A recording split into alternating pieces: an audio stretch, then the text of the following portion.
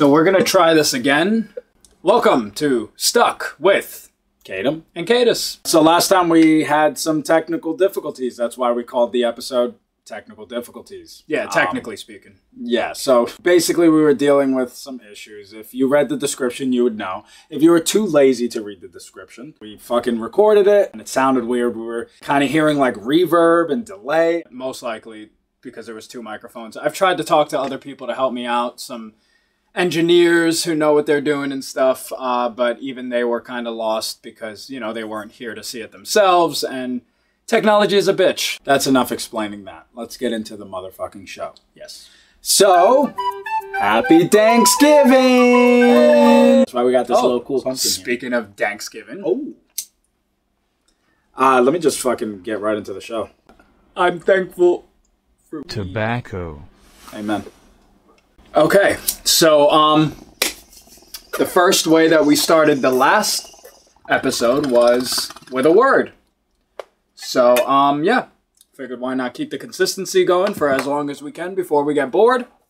And with that being said, the word you've never heard. Ooh, what was that word? I say we keep saying word you've never heard, but then I is it? wrote word you never heard, Oh, and now I'm trying to figure out like which one is it? word you've never heard. You've. never heard. So let's that. add a VE to that. My word, I just learned today, is. Mm, That's a perfect reason for me to go first. So my word is logolepsy. logolepsy. Logolepsy, I'm pretty sure. Which actually is, we should have had this in the first episode, the fascination or the obsession of words. What is it? Logolepsy. So Logolepsy. we, we're suffering from logolepsy. Like epilepsy, but like for words. I'm like, ugh, words are amazing. that's fucked up. Okay, I'm not even gonna. Well, my word is Meleagris gallopavo. Meleagris gallopavo. It's two separate words, and it's actually the scientific name Oh no. for a wild turkey. Oh. So annoying. There you go. Now you guys know when you go to the dinner table, you go, wow, this is some wonderful Meleagris gallopavo. Okay. Did you know? No way. So mine is actually pretty, pretty fucking cool. So I don't know if you want me to go first because it's, it's Mine is pretty cool too. Okay, is it just a fact? Does yours just a very a sim- video attached? To No. it? So go first. Okay. So mine is the word thanks and where it's rooted from. Ooh, okay. Yeah, I think that was pretty cool for this Okay, episode. mine has nothing to do with Thanksgiving. okay, see, the word thanks actually is rooted from the word think. So when you would give thanks, it was not thanks, Yeah, you would say thank. Yeah. And thank was the past term for thought. Like I thought of you. I think of you. So nowadays, we say, I think about you a lot. So in that way, we would say, I thank you. okay. I have heard that before, and I'm not lying. Sometimes, you know, you hear things, you forget it, you hear it again, and you go, I've heard that before. that doesn't make you a know it all, okay? we are know it alls, but I really genuinely mean I rem- I've heard it. Isn't that day. amazing that you can think of something and then forget about it? And then somebody just reminds you real quick, and you're just like, oh my Oh, gosh. thank you. Yeah. So my fact is random, but it's cool because it has a video attached to it. okay. Um, Hopefully, I could attach a video. I have no idea how to do that in the Yeah. editing process. Okay, so maybe it doesn't have a video attached. I think it does. I think it does. We're not doing that. Apparently, or should I say, apparently, uh, people thought that parrots or birds that were related to parrots were the only animals that could technically keep rhythm because they thought that one of the necessities to keep rhythm would be uh, vocal mimicking. Birds can mimic us, therefore, they can keep a rhythm if, you know, they're singing a song. Like, obviously, they're keeping some sort of rhythm in their head, right? But they have found an animal that technically can also do the same thing. Apparently, it's a sea lion, which is the other. Isn't that like a seal? Yeah. Um, which I searched up. I was like, is a sea lion a seal? Because now I'm like looking at him like seal. sea lion. No, they're not. They're they're different things, but they're very similar. So these these guys at this fucking research center were testing this sea lion with a metronome, and they were just basically playing this metronome over and over, and then they of course would feed it treats, just like you would do to uh, teaching a dog a new trick. And you know it would be doot doot doot doot doot doot. So he's going like that, right? And then they started fucking playing music, and this motherfucker's keeping the rhythm to the music. So they kind of determined there is yeah. another mammal. There's a uh, another mammal because birds aren't mammals. I'm pretty, pretty sure they're birds. You know, Are they not? because you have to like right there. breathe air, right? To be They don't breathe No, no, air. no. I was gonna say you have to breathe air to be a mammal. So does that mean they're mammals too, I think so. or are they? They are the only other mammal that can keep a beat Besides- other than a seal. no, other than maybe seals can't keep a beat. Uh, but what they've realized is that the sea lions do. Yo, it's it's crazy. It's, it's really fucking funny. Pretty cool. Um, good to know that uh, I can make a band with some sea lions. Yeah, It's a- you can it's jam out with name. them. Yep. The Sea Lion Man. Nope. All right. So, mm, oh, I already said my. Did you know? See, I'm high as fuck. I don't even know. Uh, yeah. So I know what time it is. It's time for me to tell a joke Oh boy. as your dad. Daddy, please right. Knock knock. Who's there? Hatch. Hatch who? Bless you. That was it. That's it. That's the best you can come up with. Oh, I thought it was great. That. Come on. Hatch you. Bless you. God bless you. Okay. What more do you want from a dad joke? All right. Well, mine is this. Imagine if you walked into a bar mm-hmm. and there was a long line of people waiting to take a swing at you. Okay. That's the punchline.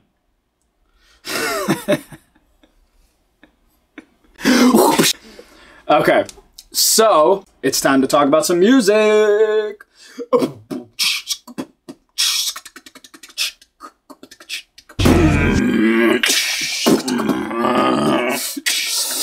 You want to go first? Yeah. Yes. Okay, wait, wait, wait. Are we going to mention the same thing?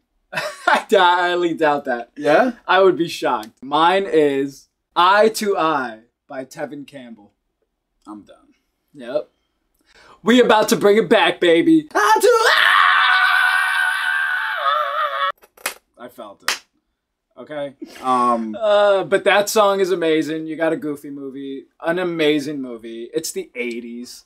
Dude, there was something about Disney music. They weren't just creating songs that were to appeal to children. Like, they were like, nah, we're to make a, oh yeah, we're to make a song for Disney. That shit to be popping. back then they cared that adults were watching these films too. It's the same thing with uh, cartoons.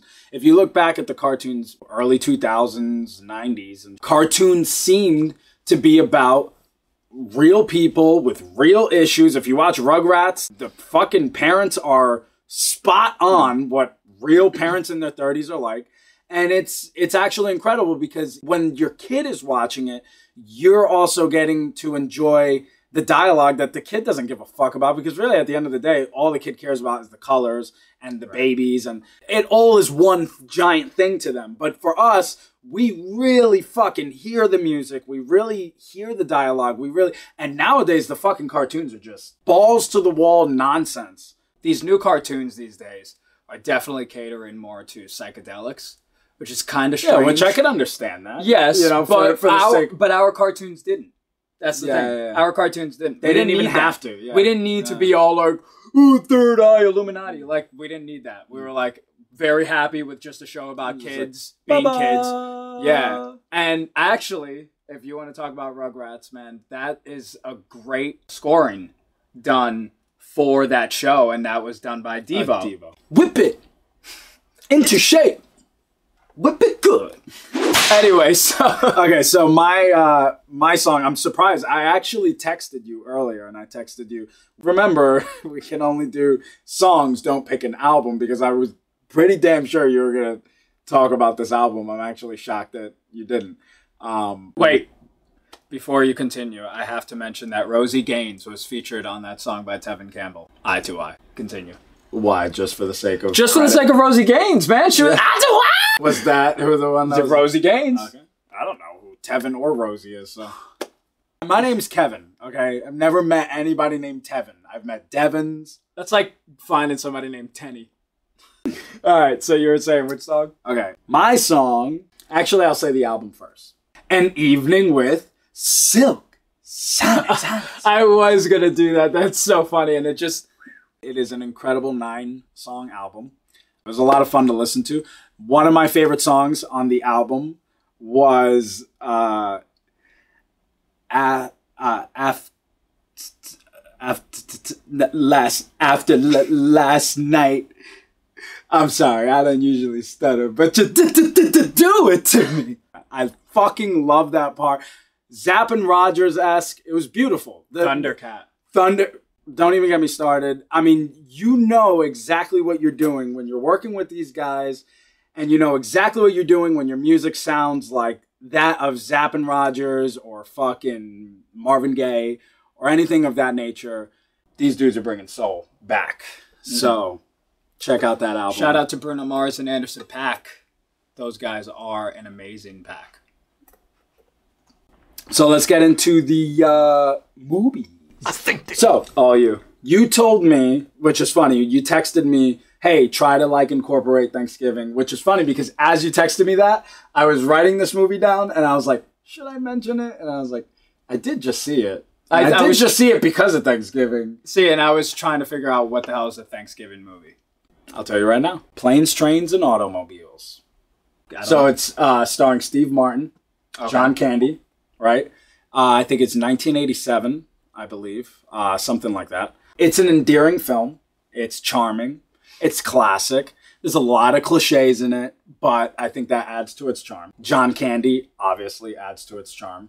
Uh, it was a lot of fun to watch, but the reason that I wanted to bring up the movie specifically, uh, other than the fact that it's probably the only like real Thanksgiving movie. The story is that Steve Carell just wants to fucking get home to his wife on Thanksgiving. And it's just one of those movies where he just can't get home. It's like every Oh. everything Something always gets in the you way. know, one of the scenes really fucking shocked me because I saw before I watched the movie it said rated R. I didn't think that this movie was ever rated R. And the whole time I'm watching it, the beginning of the movie starts, and I'm like watching. I'm like, I don't understand where this. movie. I'm like waiting for somebody to just like flash their tits. Back then, though, that was like PG 13. No. Uh, what happens is Steve Carell, and I'm not Steve this- Carell, Steve Steve Martin. What happens is Steve Martin walks into a car rental place at one point, and I'm not really trying to spoil anything. As soon as I saw the scene, I was like, "Oh my god, this is fucking iconic."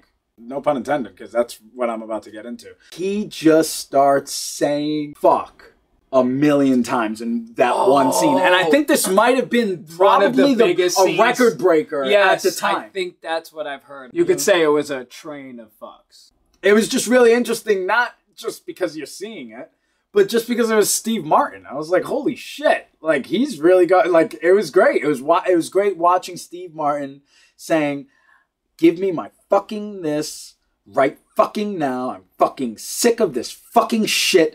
I think the the entire film is kind of worth watching just for that one scene. But um, I would definitely suggest it just because it is the holiday season. But it was fun to watch. Cool. So, um, my movie that I chose was, and it was bound to be mentioned, so I figured I'd just get it out of the way. Burn After Reading. I. you don't understand. Before I picked planes, trains, and automobiles, that was the movie that popped into my head. And I swear to God, I said, Kenny's probably going to say that movie today. We got to be careful because we like a lot of similar things. But yes, one of my favorite comedy movies of all time. Um, it's a recent. We should just drop the sample right What here. What the. Yes. anyway, so Burn After Reading is one of my favorites because you have not only grade A actors, but like the like sexiest men ever grade A actors. Yeah, yeah, yeah. And they're both fools movie. Absolute. Absolute morons. It's fucking brilliant. You got George Clooney, you have Brad Pitt. Um already. Like, already all-star. yes kind of a- a, little a- under the radar. This movie. Actually, it is surprising how under the radar the movie is. It's underrated. The only reason I know about it was because of a good friend of mine who told told us to watch it. Shout out to Ben Gorski. Fuck you, Ben. Oh, how You don't did get how credit. Dare you? You don't. on You don't. No. You don't try to take the shine from our podcast. all right? Unbelievable. You go back to where you belong. oh, did something fall? Uh, that's That's- I'm sorry, Ben. Yeah, I mean that's that's my reason behind the movie. Uh, oh, and then I didn't even mention J.K. Simmons J.K. Simmons and John Malkovich. John Malkovich. motherfucking John Malkovich. Bro. being John Malkovich was a great movie as well. Not my favorite. I love Burn After Reading way more than being John Malkovich. But we're not talking about being John Malkovich. We're talking about Burn After Reading, which is just fucking hilarious. Oh, if you yeah. haven't seen it, oh my god, it's one of the best dark comedies I've ever seen in my life. It is I mean, so it's- well written. So well written, so loopy. You're like constantly like on the edge of your seat, like what the hell is gonna happen next? Yeah. And the ending is pretty- Classic. pretty, Classic. well worth it. All right, so let's move on. What in the world is happening in What the, the world? fuck is this? No, you can't do the sample. It's redundant. I should like do it, put them on top of each other. At the oh, same oh, that would be good. That would actually. I wonder if you got the timing right. Yeah, maybe we'll see. There was somebody, I think this case is settled now, but this happened. So this person was arrested for 43 cents and then they were charged a felony. What? And they served seven days in jail because he walked away with a Mountain Dew. Actually, this happened in Harrisburg. Wow. Yeah, right around the corner from us. Two hours away from us. He grabbed the bottle, slapped two dollars on the counter, and walked out. What he didn't know was a single bottle was two twenty nine, not one dollar and fifty cents, which he thought. It was Oh, so he just placed it down and walked out. yeah. The store called the police, so he got locked up. Another similar story um, that I found funny was, and it kind of ties into nostalgia, which we're in love with clearly. There was an Oklahoma woman that was charged with a felony for not returning a VHS tape. 21 years it took. And so it accumulated so much in the system that they sent out a, fel- uh, uh, a felony. They sent out a felony to our house. We just got a letter. We just got. I wonder who it's from. It just opens up. It's just like ding, goes up to the screen. It's just like a cop, like with the little thing. Oh no, it's like a It's on his, the it's on his state lips. trooper, It's on his the fucking hat. looking like fucking Bullwinkle. You know, right? 'cause Rocky it's- and Bullwinkle, don't they have that outfit? Or am I bugging? Something like that. Oh, Don't like the the villain or whatever has that. No, no. He's like kind of like a like Somebody's a wearing yeah. Somebody's. so Oklahoma woman facing a felony for a VHS tape. She didn't spend any time in jail, as far as I know. you know what's cool is that yours is about money and mine is about money. It's always about money. in Mexico, Missouri. This actually took me a while to figure out because it was saying Mexico man, and then I was reading Missouri Florida man. No, and then I was reading Missouri man.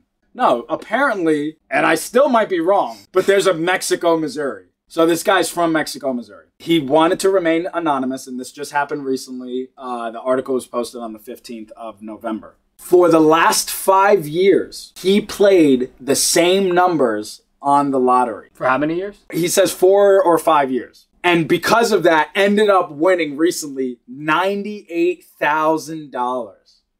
I would assume he had some algorithm in his head because that's what I've heard with these scratch offs. Is it is in a sense an algorithm, and this algorithm is given out ever so often. And if you do it right, there's like a way to actually play your numbers that's kind of mathematical. So I've heard. I don't know if that's true Okay, well, I found the article and I want to find the numbers that he played. because maybe you should play them right now. I was going to say, Everyone together. keep playing them every day for the next five years. Yeah. Okay, here they are. Write these numbers down 10, 12, 19, 28, 33. Oh He shit! just- I think I just called the cops. Oh. You actually made my heart. so yeah, look at that. You know, won ninety-eight thousand dollars. So they asked him, "What does he plan to do with that money?" He said, Keep playing the lottery. "He said, pay my credit card bills." Indeed, though. You know what? I give you credit. All right. So uh, what's next? What's next? Some said How much is seeing this shit wrong? Someone once said, life would be tragic if it weren't funny. Tragic. Stephen Hawking said that. Interesting that a man with who was could still look at the life and find it really funny. yeah pretty profound. People that are very smart tend to be very cynical. And cynicism does go hand in hand with comedy. Well, rest in peace, Stephen Hawkins. I didn't know he died. I thought he was like um, Jimmy Carter, you know, he's like still going. Yeah, still going. still going. It's I- like 97. Is Jimmy Carter still? Yes. Okay, I, I know he was, but I mean you don't know. I Like know he 20 was. I know it's like twenty two. No. Like I'm just saying, he we just went through 2020. Jimmy That- Carter made it through 2020. hmm I don't know. 97. I just looked looked it up. like, Really? Just now. uh, a couple days Oh, okay. ago. 97 Wow. years old. Congratulations, Jimmy Carter. Yeah. Hope hope to see 98. Yeah. He should run for president again. He only did a four year term. Why not? We only hire old men. Oh, let's not get into politics. Someone said, behind every great man is a woman rolling her eyes. Jim Carrey. No matter how scary, like S- Joseph Stalin or like there's this woman like they're just like whatever Adolf. Let's not get into that. Well, Um, then let's talk about some urban legends then. oh, it's a nice time to get into that. Yeah, because now I'm getting a little spooked out. we said phenomenons last time. It could be phenomenons. It could be urban legends. It could be whatever the fuck we want it to be. Hell, we could call this phenomenons now. And now Yeah, because this guy calls it urban legends and then starts talking about how he's playing baseball in his dreams, and I'm like, Hey, I've never heard this urban legend. it's it's an urban legend of Kaydas. Mine is a Thanksgiving one. I figured keep up the spirit. I didn't know this, but apparently Thanksgiving used to be a lot like Halloween. It was known as like Thanksgiving masking, where people would go out dressed up. It was not like door to door trick or treating, but you would go door to door and like sing caroling to people, kind of like Christmas so it's like Christmas mixed with Halloween. and Thanksgiving. Giving, It's the holiday. And you know what it was is that they, you know, I know what it was. It was way past Halloween and it was right before Christmas. But niggas wanted to celebrate. Yeah. They was just like, so they ran out with their masks, were like- creepy ass masks, Yeah. and then they was just, uh, it's beginning to look like- Christmas. guys. Apparently, Jingle Bells is a Thanksgiving song. Yes. There you Yes. go. So- there you go. So that's a good reason as to see. They I- went up to your door on Thanksgiving like jingle, Jingle bells. bells, Yeah. jingle oh no no no. bells. They just had like white bags over their head and shit. Kids used to dress so creepy back then. Yeah, people used to do that. It was also known as Ragamuffin Day. Okay. Um, which I guess. Which the reason why is because they would all dress up as like homeless people. It was a very common costume. But then now we're gonna get to the urban legends part. I didn't know this was gonna get dark. Uh-huh. I mean, it got pretty dark when it said children were dressing up as homeless Yes, Jingle bells, jingle bells. That's where it kind of gets a little dark. But then you actually had real homeless people going to your house to steal your Thanksgiving dinner Oh, and possibly do like worse things. the like, Thanksgiving Grinches. like apparently like kill people and rape people and Oh, stuff. Like Jesus. yeah, some terrible things. I don't know if this is true, but again, knows? While you sit at home tonight and you see somebody outside with a cart, lock your door. it's so fucked up. No, actually, go out Actually, there, hand yeah. them some food, Yes, and tell them Jesus loves them. yes, help the homeless today. Help the homeless tomorrow, and especially on Thanksgiving. Stop fucking dressing up as homeless people. Right? My urban legend. Uh, so we're gonna do urban legends first, and then we're gonna jump into nostalgia. Whatever. Okay. I'm just going with the punches. All right. So my urban legend, I wanted to go with something that was related to us because I found a, a site that was doing urban legends by states. So I was like, well, I'm definitely gonna find Pennsylvania. Of course, That's funny, I saw the same Philly. thing. It's from Philly. Oh, and that's why I changed mine. I had no idea. See that twin telepathy? That really works. Yeah. So you read it. I did, but You go ahead. Okay. Um, so it is. That's the ambiance, the scary music. I've never heard of this before. Okay. Philadelphia. The bus to nowhere. Cinematic So-. The story goes. I went like this because I was rumor has it, but I was like, Now you're like a cookie. keeper. the story goes. okay. Cinematic bass. Okay, so the story goes that there's this bus in Philly, and it doesn't have a route. And I mean, out of all the different buses in Philly, there's this one bus that's just driving around and it's kind of like this bus to nowhere. That's why they call it that. The urban legend goes that at your lowest point, you would stand outside in Philly waiting for a bus. And I don't know if you're really expecting the bus to come, but that's when this bus comes and picks you up. And when this bus picks you up, you'll sit down if you have change to afford it. 75 cents. yeah. You're like, that's still how cheap it is to ride the bus? Yeah. And then he's like, that, yeah. drives Wait, you down so- the dark alley. You're like, wait, this isn't the same house. amount to ride a ghost bus? Ghostbusters. Oh.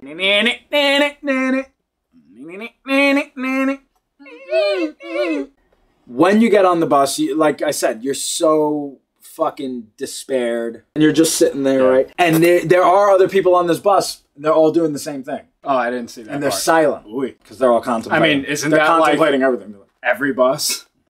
And apparently, what the the story says is like in that bus, when you're thinking of all these things, once you finally conclude whatever it is that you were thinking, I am a good person, or fuck that bitch. That's when the bus finally stops for you. Now, here's the strange part. When you get off the bus, you could have been on the bus for just two minutes, or you could have been on the bus for years. Dun dun dun. The bus to nowhere. The lesson there is be thankful for what you have, because then you might end up on the bus. with the ragamuffin children. so let's end this on a good note. The good feeling. So I, I'll go first since you went first last time. Simpsons hit and run. Ooh. Uh, my brain is like, uh. Guys, Grand Theft Auto, Simpsons hit and run.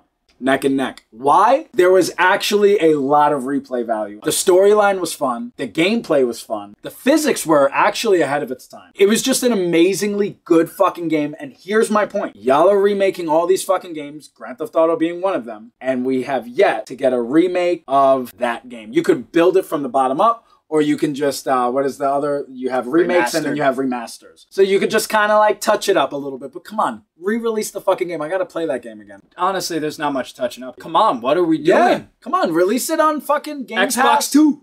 Xbox One SX2. Whatever the fuck. yeah, come on. SSXX. It's tricky. That's another game people have been waiting for. I don't Yeah. know. I don't Let's know. do SSX tricky, right? Is that how it is? SS SX. Oh, you want to throw it up there? We can have as many nostalgic references as I don't give a fuck. I'm going off. Furbies. Furbies. My thing was kind of a negative thing, but it, it is still nostalgic. I've realized that there is a, a fine line in nostalgia that it isn't just fantastic, but it's just old, and that is why it's appreciated. One of the things I realized was dial up connection. Mm. Something we hate. I mean, hate till this day. You don't think about it and think, wow, I miss the days when we used to deal with. Mom, mom, are you? Mom. We actually dealt with that. So and so's on the internet. He's like, Yeah, like you would try to log onto the internet and you would hear the person's conversation. oh Like yeah. the you were fucking- like, It sounded like a fucking EVP. Like, yeah. help. Get off the phone. You're grounded.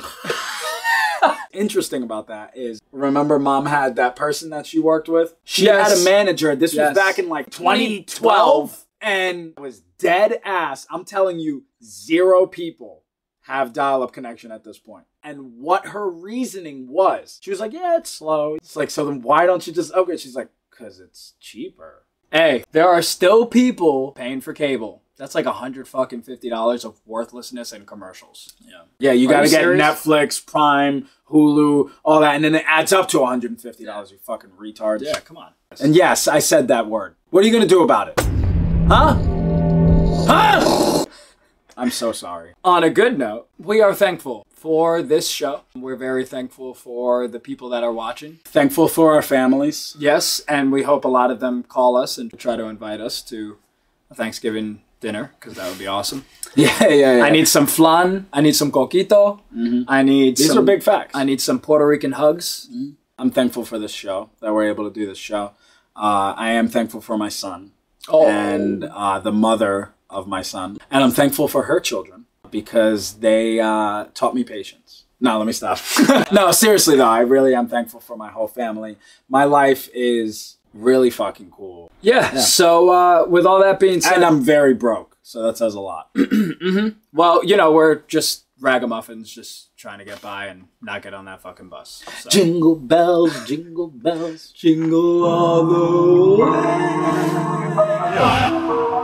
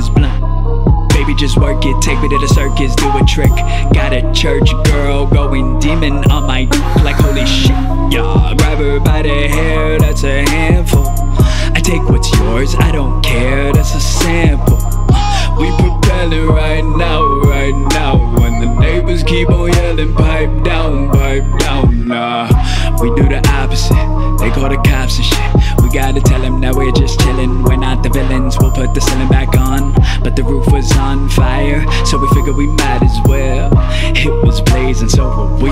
It was amazing. It was uh, Hot as hell when we wrote this shit in June. But it felt like